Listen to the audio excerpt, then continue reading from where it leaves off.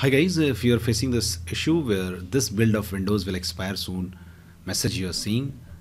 So how to fix this? Uh, the very first fix is just search CMD in the search box, right click on it, click on run as administrator, click on yes.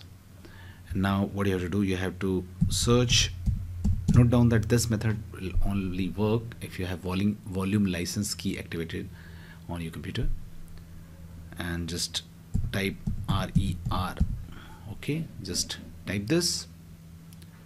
Hit enter key to run this. Restart your computer.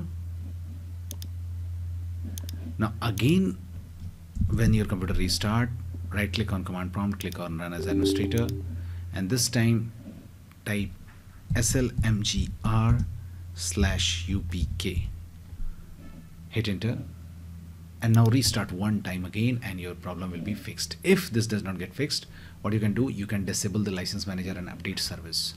So just search services in the search box and click on services this gear shaped icon. And now locate windows license manager service.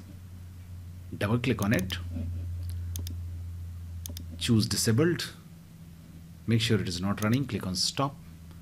Click on apply and click on OK.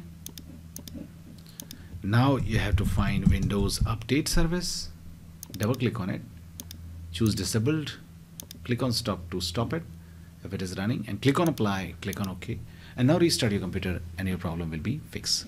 So that's it guys, please do like the video to support us and thanks for watching. The